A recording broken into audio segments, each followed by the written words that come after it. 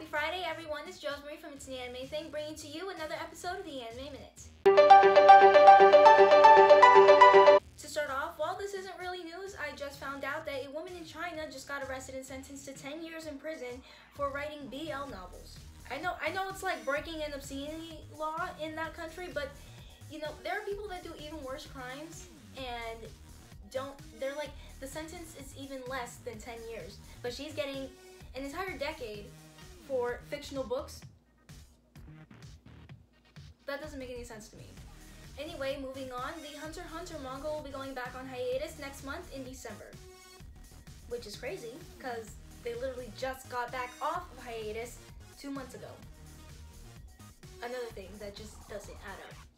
For all you Evangelion fans, Netflix will be streaming the entirety of the Evangelion series, as well as Evangelion Death and Rebirth and the end of Evangelion films.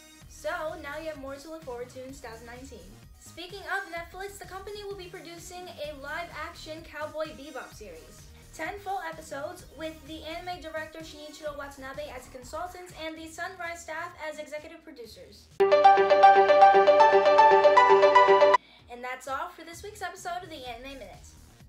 Don't forget to like and subscribe, and also don't forget to follow the It's an Anime Thing Instagram, Twitter, Facebook, podcast, more updates as well as the content. Links to everything will be in the description below.